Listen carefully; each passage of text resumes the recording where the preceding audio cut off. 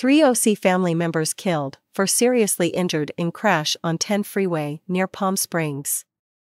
Three members of an Anaheim family were killed, including two girls, when a suburban collided with a Tesla and overturned on the 10 freeway in Whitewater.